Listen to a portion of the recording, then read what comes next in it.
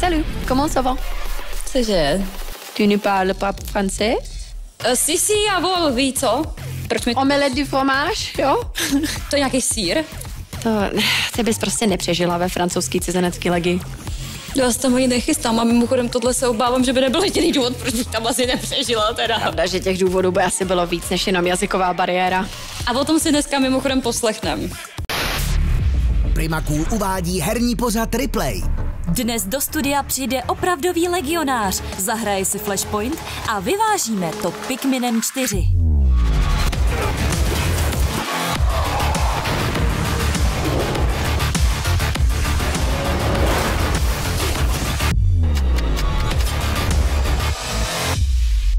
Zdravíme vás, hráči a hráčky, u dalšího dílu Replay. Dnes jsme si pozvali bývalého vojáka, který sloužil i v cizinecké legii. A jako recenze nás čeká Pikmin 4. and no exile will stop me. Vývojáři Hack and Slash RPG Path of Exile na své akci ExilCon 2023 oznámili, že pokračování jejich free-to-play konkurenta série Diablo nakonec nebude obří update pro první díl, nýbrž plnohodnotný samostatný titul, který poběží s jedničkou, která nově nezanikne, paralelně. Všechny placené předměty, které nebudou úzce navázány na konkrétní obsah jednoho či druhého titulu, navíc bude možné využívat v obou v rámci jednoho účtu. Hráči tak nepřijdou o své investice a dostanou dvě masivní rubačky na místo jedné. Podle vývojářů hra během vývoje zkrátka tak nabobtnala, že už může bez problémů stát na vlastních nohách. Jo a taktéž bude zdarma. Takhle se to má dělat Blizzarde. This world will be reborn, no matter the cost.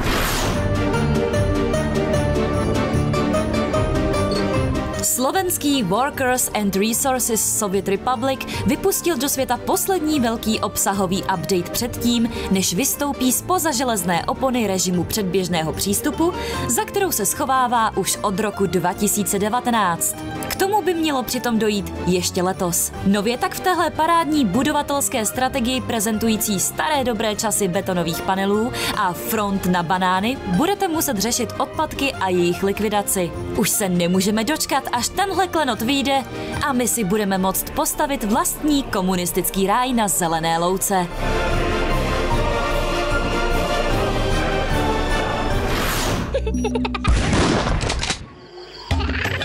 Bulánci budou v základní verzi zdarma jako kdysi dávno v dobách jejich původní slávy a to už od 1. září. Kdo už si stačil tuhle novou verzi legendární klasiky pořídit, ten dostane všechen budoucí obsah zdarma a podporovatelé z kampaně, během které se vybralo přes 7 milionů korun, pak získají jako bonus speciální skin a další výhody. A cože dostanete zadara?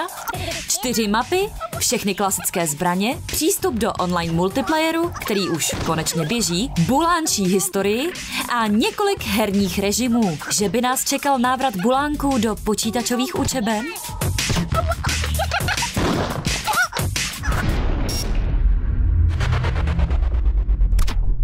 Take look at the bomb here. They will have to peek and oh, looks like a find the config here. We'll need to get another, another in cave. Bomb halfway gone. Almost got to be next contact. It's Adam Neofrak Zouhar po jediném turnaji skončil v organizaci Into the Breach, kde byla jeho smlouva rozvázána. Podle vyjádření organizace došlo k jednoznačnému porušení morálních a firemních standardů. Sám Neofrak označil za důvod svého vyhození nevhodné vtipy, které nebyly míněny jako urážka a bývalý hráč Sinners si chtěl jen získat přízeň svých spoluhráčů. Zároveň si ale Zouhar uvědomuje špatnost svého chování. V Into the Breach Neofrak rychle skončil a musí si znovu hledat nové angažma. G2 znovu vyhráli LEC. Poslední vzájemná série obou týmů fanoušky namlsala. Samotné velké finále ale zklamalo. G2 eSports přejeli XCL 3-0 a došli si pro historicky 11. titul LEC. Outsiderům z XCL nepomohly ani nadějné starty prvních dvou zápasů. Třetí hra už byla jednoznačnou jízdou ze strany G2. Celkem bylo rozhodnuto za méně než hodinu a půl. Oslavy mohou vypuknout stejně jako přípravy na sezónní finále LEC, kde budou G2 opět v roli favoritů.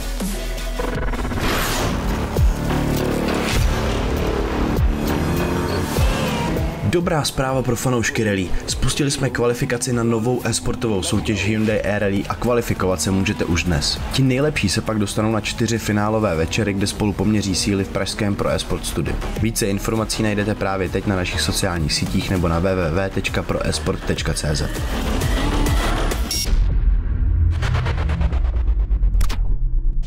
Naším dnešním hostem je Miroslav Trauer. My tě tady vítáme. Ahoj. Ahojte. Ahoj. Ty jsi trošku záhadná osoba a je těžký o tobě dohledat informace na internetu, tak bych to možná nechala takhle otevřený. Představíš se nám? Tak, uh, pochádzam zo Slovenska, od Žiliny z Krasnáckých sudcov a 8,5 roka som slúžil vo francúzskej cudzineckej legii, priamo v druhom repe, čo sú vysadkári vlastne, najelitnejší pluk uh, v legiách. A prešiel som operáciami v Afrike, v Južnej Amerike, kde som žil 3 roky, kde sme chránili amazonský prales a u našich východných susedov sme pomáhali.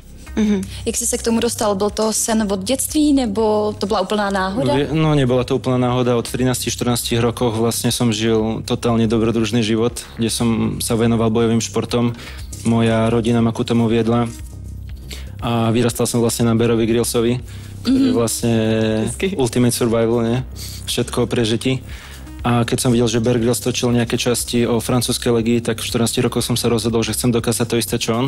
A ty si odjel uh, hnedka po maturitě. Ja som zmaturoval a deň potom som odišiel. Som mal čerstvo 18-19 rokov na prelome. Jak tam probíhá to přijímací řízení? Jestli teda se o tom dá... O, dá sa úplne v pohode a dajú sa veľa informácií dohľadať na internete. Proste pôjdete do Francúzska, zoberete autobus do Marseille, z Marseille zoberete vlak do Aubaň a tam je náborové stredisko francúzskej legie. Samozrejme neviete nič po francúzsky, ale je tam taký systém, že robíte najprv fyzické testy, psychotesty. Ak toto všetko prejdete, prechádzate na základný výcvik, ktorý trvá 4 mesiace. Po tomto výcviku uh, máte vlastne ne- určité hodnotenie a môžete si vybrať z rôznych regimentov alebo plukov francúzskej legie. Tak ja som sa chcel samozrejme stať tým najelitnejším vojakom, čo vlastne bol druhý rep. A vypýtal som si priamo tento pluk, do ktorého ma našťastie zobrali a tam začala moja cesta legionara. Mě právě zaujalo, že ty jsi vybral jako nástupní místo zrovna cizineckou legii, protože ona má strašně zajímavou historii. Historicky třeba i se tradovaly věci, že to je velmi drsný místo, že vlastně dřív to fungovalo i jako Mhm. Taková sběrna kriminálníků v podstatě, že tam to fungovalo trošku jinak, ale dneska je to velmi elitní a uznávaná To jedno. je pravda, akože francúzska legia má veľmi dlhú históriu. Od roku 1831 keď bola založená Louisom Filipom a presne toto bola tá myšlienka, že legionári z začiatku nemohli byť ani na francúzskom území, ale mimo neho. A oni zozbierali vlastne si dali otázku, že ako spraviť francúzsku armádu ešte lepšou, tak zoberme všetkých kriminálnikov z celého sveta, vytvorme z toho armádu a bojujeme s nimi v Afrike napríklad. Len ako išiel čas, tak tá armáda sa stávala čím viac profesionálnejšou a presne vznikali takéto historky, hej. Že nikdy sa nezdávali, ako bola bitka pri Camerone, alebo bojovali dokonca, alebo boli trošku takí, no, takí iní ako normálni vojaci, takí trošku viac psychopati. Ale čím viac išiel čas, eh, tak bola, sa stávala profesionálnejšou tá armáda. A teraz si myslím, že je to jedna z najelitnějších armád na světě. Mě by zajímalo, jestli určitě hraješ, určitě si hrál hry mm-hmm. nějaký, že s vojenskou tematikou, tohleto. Uh, kterou hru bys nám doporučil, která je třeba taková jako hodně, hodně podobná té té realitě? O, Určite je to vlastne z Českej republiky Arma, mm-hmm. na ktorej som vlastne vyrastal a hrával som to aj vo- svojom profesnom živote. Takže Arma 2. Arma? Arma 2 určite. A potom rôzne Call of Duty, hej, Modern Warfare. Mm-hmm. Ešte tie staršie, ale tie prvé verzie to Modern Ty s těma zombíkama asi ne? Nie, nie. To mě zrovna Ja práve, že mám radšej také reálnejšie veci. To doufám, že není realistický. A samozrejme Battlefield a Medal of Honor. Battlefield. Mm-hmm. Takže o to se nějakým způsobem lidi můžou jako opřít. Uh, I co se týče asi funkce těch zbraní a nebo ne? ne? Mm, no záleží. Tak v čem teda, tak jinak, uh, moje otázka zní, v čem teda se ty hry jako uh, můžou porovnávat s tím reálným životem? Co, co je tam to, to podobné? Napríklad na tej arme, čo sa mi páčilo, môžete si vyskúšať naozaj všetky zbranie a dokonca sa tie názvy zbrania aj naučiť. Hej, keď hrávate armu dvojku, tak tam sú naozaj že reálne zbranie. A potom rôzna technika, môžete si naozaj pre, tiež pripravovať tie taktiky, ako dostanete toho nepriateľa a je to fakt, že realita, že nezabijete 20 ľudí alebo 30 vojakov za minútu, ako napríklad v tých najnovších eh, Call of Duty, ale toto je, že to trvá aj dve hodiny napríklad, nie? Že... A měli jste v rámci výcviku, uh, měli jste tam právě nějaký simulátory vojenský? Používali jste? Mali sme vojenské simulátory, že vám dali napríklad uh, proste FAMAS, to bola francúzska zbraň, alebo hakačko, raketomet, guľomet a mali, boli obrovské platna, hej, a dali vám tam nejakú situáciu, že sme v Afrike a chodia vám tam teroristi, musíte strieľať tých teroristov, musíte medzi sebou komunikovať, musíte rozmýšľať, že koľko máte nábojov, koľko vám to zostáva a takticky proste myslieť. No a bol to vlastne taký reálnejší boj. Mm-hmm. Ale teraz viem, čo majú špeciálne jednotky, tak to sú už úplne že brutálne veci, že vám aj tie dajú tie okuliare na oči, mm-hmm. máte tie 3D simulácie a priamo riešite tie situácie, ako keby to bola realita.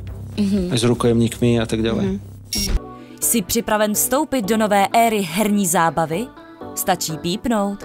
PlayStation 5 tě zavede do neuvěřitelných světů a oživí každou hru. Nyní za pouhých 10 990 korun. Pro PlayStation 5 jedině do Smarty.cz.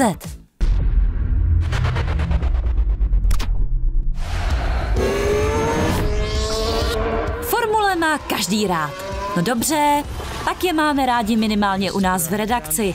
A na nové kolečko virtuálních soubojů F1 se vždycky těšíme. První monoposty v barvách EA už odstartovaly a teď za nimi vyrazili ty z F1 Manager 2023. Nezbývá než taktéž sednout do kokpitu a sešlápnout plynový pedál. You got Verstappen right behind you. Try and hold position. Yeah, I'm trying, mate. I'm trying. Jsou hry, které by se epileptikům na disky vážně dostat neměly. A Ninja or Die Shadow of the Sun mezi ně zaručeně patří. Tahle rychlá roguelite plošinovka se ovládá jen jedním tlačítkem, ale něco nám říká, že jednoduchá fakt nebude.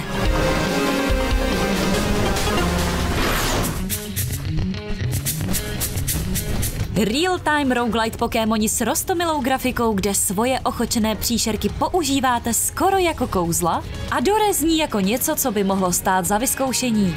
Na Steamu je dokonce demo, takže pokud hledáte něco nového a neotřelého, směle do toho.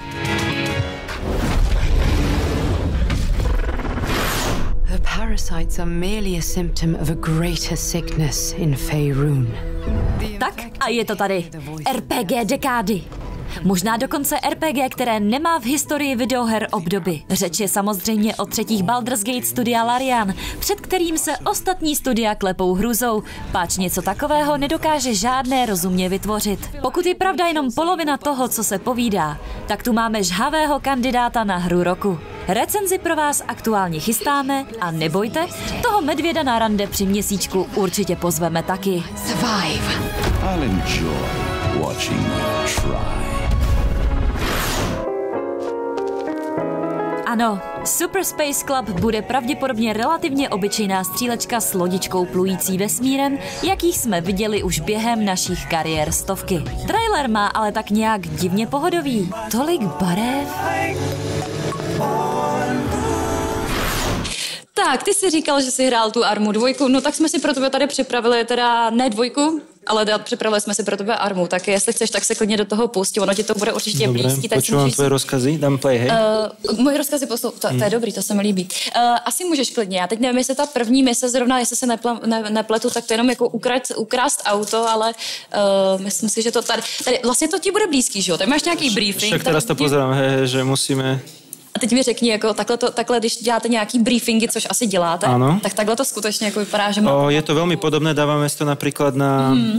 na platno a podobne sa veľmi pado- o, plánujú misie, hej? Že kde je Mhm. priateľ, kde je nepriateľ, kaďal sa budeme infiltrovať. Každopádně já třeba mám v těle těch hrách jako problém, že nepřítele většině nevidím. On mi, on mi neustále splývá, což chápu, že jako je podstatou, ale oni mi opravdu, oni já je nevidím. Oni stojí vedle stromu a já je prostě nevidím. Preto Eh, sa, preto sa vymyslela kamufláž na takéto prípady, aby sme boli neviditeľní. No a co Ale- děláš, když se právě potřebuješ vidět, že jo? O, tak mám dymovnice, nejaké signálne, môžem sa nejako vyznačiť svoju pozíciu. Já myslím, že to auto je u takového většího baráku tam někde, ale vzhledem k tomu, že jsou všechny ty baráky vysoký, tak nevím, co vidím. Vieš čo, budem zabíjať všetkých, ale nebudem sa pozerať na telo, aby som potom nemal psychické ne- problémy. Tak, já bych to nekontrolovala, bych je prostě, víš co, je to o survivalu, že jo? Co ještě musíš všechno ovládat? Tak uh, hádám, že řidičák máš. Mhm, mám. Co všechno umíš řídit? Tak jako, tak jako v této hře uh, Určite nákladňák, malé, áno, uh, nakladiaky, malé vozidla, štvorkolky. Mhm. O, potom mám, neviem, či to, ako sa to povie po slovensky, pilotný na člny, do 25 metrov Jasne. ovládať Mhm. člny. O, potom o, pasové vozidlo, Mhm. BV206 sa to volá. Takže když tě uvidím někde na silnici, tak jedu okolo. Daj si radšej pozor. No. Ale tak vždy mám nejakých správnych kopilotov, ktorí mi vždy poradia, že čo to bolo za značku alebo tak. Mm, mm, to je zajímavý, to mě vůbec nenapadlo. Tak to je to jako fešák to tam. Když jsme se bavili o té o tý, uh, džungli, teď jsem Mhm. musela chvilku pátrat, chtěla jsem říct pouště, ale o té džungli, tak uh, tím, že já mám hrozně ráda survivalovky, hry, kde jako přežíváš a učíš Mhm. se, jako uh, tvoříš si tam základnu a tak dál. A mm, hodně jsme tady na to naráželi. Tak uh, takový to přežívání tam třeba v těch hrách bývá jako, že já nevím, musíš si dávat bacha, co zbaštíš, což jednoznačně platí. Ano. Eh, Kolik je toho jedlího v džungli? Já jsem někde slyšela totiž, že eh, třeba nějaký jako bobule úplně není dobrý jako jíst, že třeba fajn jsou kořínky, O, to je- respektive nebo plodiny, které jsou pod, eh, pod půdou, to znamená jako Toto je veľmi široká téma a radšej, že je tam toľko tých rastlín, ktoré ťa môžu zabiť, že radšej by som to ani ne- Takže radši nejedol. nic nejes. Mhm. Ale v džungli je také jedno pravidlo, že čo môžeš zabiť ty, môže, uh, môže zabiť Že aj sníst. teba. Hej, hej. Ne, takhle, aha, jakože, takže jo. Že veľa vecí môže zjesť aj teba, tak treba byť rýchly. Mhm. A dá sa zabíjať vlastne všetko. Volám sa Miroslav Traver, bol som 8,5 roka vo francúzských cudzineckých legiách a teraz budem hodnotiť vojenské videá pre replay. Tak z taktického hľadiska si všetci mieria na chrbty, čo není moc dobré. Tie kanóny by mali byť v high ready.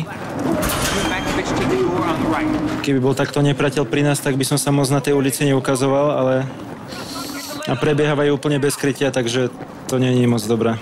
Malo by byť tak, že niekto nás kryje, potom sa môžem pohybovať, ten, ten sa zastaví a kryjem za ďalších kamarátov.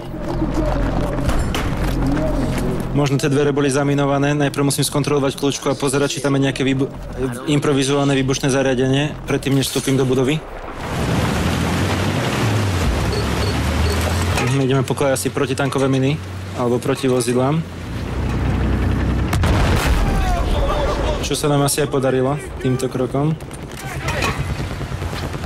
Hlavne keby prvý tank vybuchol, tak určite by sa nepriateľský postup zastavil a zavolali by ženistov, lebo by nahlasili do rady, že náš postup bol zaminovaný a treba ženistov alebo určite pechotu, aby to vyčistila.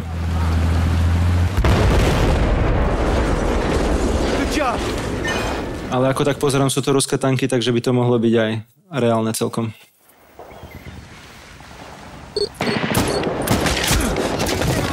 Keby som bol v realite, tak by som sa tiež nevystrkoval na tom istom mieste, by som vystrelil, zmenil pozíciu a vystrčil sa zase na inom mieste.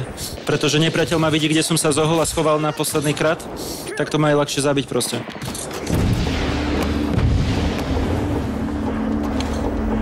Máme snajperskú dvojičku.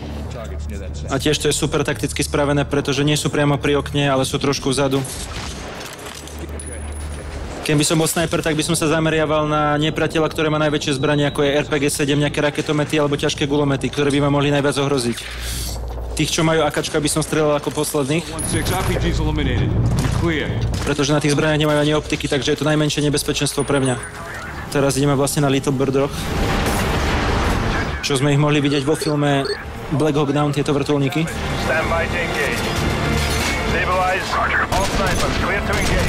A tiež má dosť nestabilne tú pušku proste. Teraz na vrtulníkoch sa používajú také popruhy, aby som si vedel stabilizovať tú zbraň a vedel strieľať zo stabilnej pozície, lebo neviem, či by to takto udržal. Second wave going in. Stand by. 10 feet. A v realite by v živote takto vrtulníky nepristali, keby ten nepriateľ bol prítomný v tej, v tej zóne a hlavne by boli ozbrojení RPGčkami, takže to by bola čistá samovražda.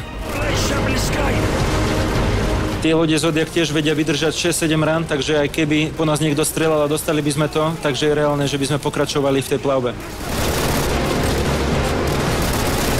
Tiež strelať z jednej ruky, tak to je zbytočne míňať naboje.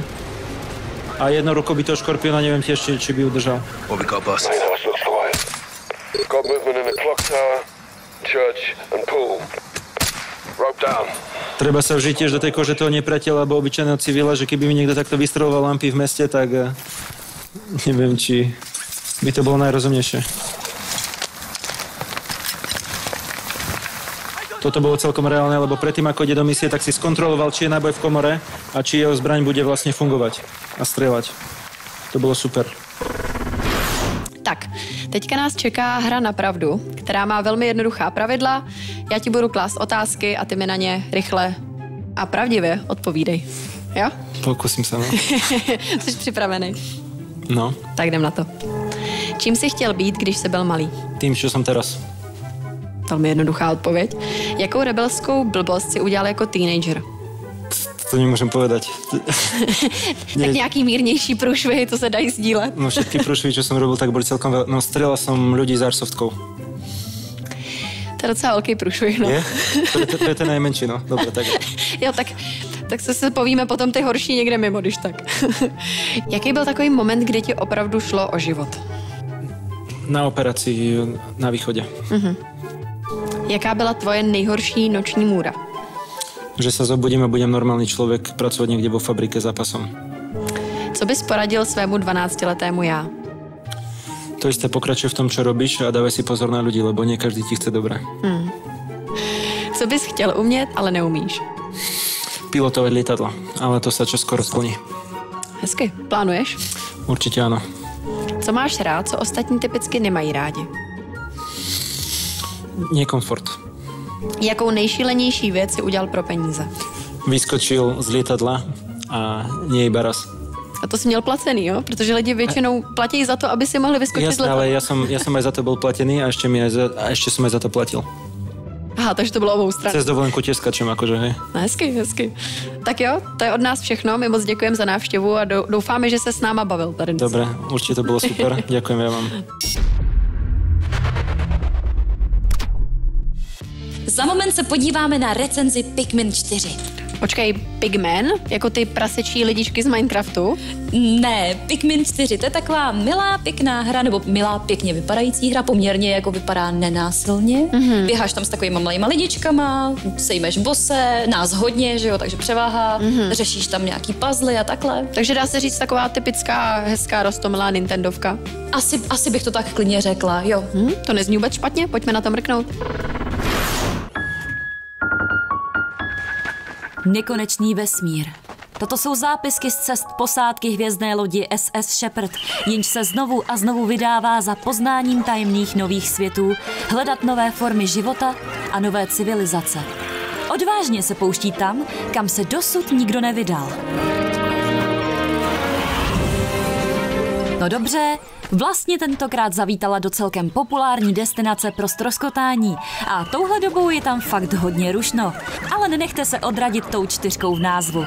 Noví Pikmini vám, co by zelenáčovi všechno vysvětlí a ještě přihodí rostomilé a především nesmírně užitečné štěňátko. Kapitán Olimar zkrátka vyslal nouzový signál, pak ho vyslala i posádka, která se pro něj vydala a tak je na vás, abyste si vytvořili postavu a všechno tak nějak zachránili. Ze začátku je všechno jednoduché. Tohle je Pikmin. Když narazíte na problém, mrsknete po něm Pikminem. Když narazíte na velký problém, jebněte po něm Pikminů hromadu. Jak prosté, drahý Olimare. Běháte po světě, rabujete jeho poklady a ukazujete místní fauně, zač je toho Pikmin. Jenže pak už to najednou nefunguje. Například místní podzemí vám dá k dispozici na několik pater plných pastí a nepřátel jenom omezené množství téhle potravy pro děla a ztráty navíc musíte doplňovat. Když vám zařve jeden, ani si toho nevšimnete. Když pět, doplníte u lodi stavy a jdete dál. Jakmile vám ovšem místní fauna poprvé šlukne polovinu družstva, už si začnete dávat set sakra majzla, jak svoje nemyslící otroky využijete. A do večeře, ať jste doma, Ne, vážně. Posetnění být venku fakt nechcete. To potvorám hrábne a začnou po vás jít jak slepice po flusu. V nových nočních misích naštěstí máte k dispozici i novou odrůdu Pikminů schopnou si s nimi poradit. Hratelnost je tady navíc o poznání akčnější, protože v podstatě musíte jenom ubránit základnu a sbírat hvězdičky generující další zářící pěšáky. No, A to je vlastně všechno. Bitvy v tom, kdo se sbírá na čas víc bordelu na mapě, ani speciální výzvy, kde to samé děláte solo, už vás nevytrhnou. Ne, že by kromě delších načítacích časů způsobených hardwareovými omezeními své mateřské konzole, menšímu počtu map, které museli ustoupit podzemním tunelům, a závěru postavenému jako nezrovna zábavný boss maraton bylo novým Pikminům co vytknout. Jsou pořád stejně rostomilí, zábavní a kreativní jako vždycky. A pokud jste letos nestačili ještě uvíznout na žádné planetě, tohle není vůbec špatná destinace, kam to se svou raketou napálit. Jen by toho na vyšší hodnocení museli předvést přeci jen o něco víc. A abychom takzvaně drželi styl, dali jsme do soutěže od smarty.cz dvě powerbanky Tactical C4 Explosive s kapacitou 19 200 mAh. Takže když do lesa, tak stylově. Nabíjí rychle a opravdu hodně. A jaká je otázka pro tento týden? Jakou hru hrál dnešní host? Pokud chcete vyhrát, pošlete SMS na číslo 906 06 13 ve tváru RE mezera A, pokud si myslíte, že Battlefield. A pokud že Arma Cold War Assault, pošlete SMS ve tváru RE mezera B. Každá správná SMS obdrží kupon na 150 korun od našeho partnera smarty.cz. Zasláním SMS podpoříte autory tohoto pořadu. Soutěžit online můžou členové na našem YouTube. A v srpnu tu máme novou dlouhodobou soutěž. Hrajeme o herní notebook Dell s velmi slušnou výbavou. i5 nejnovější generace, RTX 3050, paměť 16 GB RAM a 120 Hz display na pořádné hraní s podsvícenou klávesnicí a předinstalovaným systémem Windows 11. Máme tu konec, vy se nezapomeňte podívat na naše sociální sítě a hlavně na YouTube. Protože na YouTube vyjde celý rozhovor s naším dnešním hostem a myslím si, že tenhle bude opravdu stát za to. Tak se mějte krásně a hrajte s námi. Everybody know the drop when I'm in it. I, I, I drop the top when I'm in it. Everybody know the drop when I'm in it. Yeah, I go so yo. Everybody, everybody know I'm on. Uh, everybody, everybody know I'm on. Uh, you, you know when they click, click through. Try to send it, send it, send it, send it, send it, run, run, run, run, run, run, run.